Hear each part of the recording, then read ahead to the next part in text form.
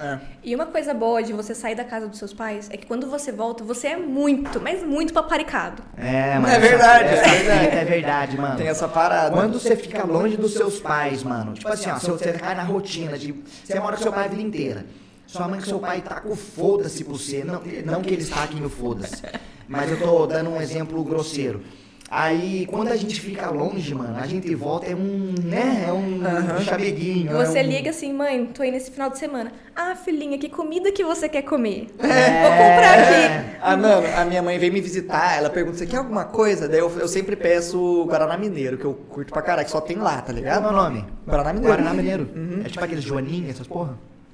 Não sei que é Joaninha. Aqueles Guaraná doce pra caralho. É, é. Só que é tipo assim, é um Guaraná que só tem lá, eu acho que em BH também tem.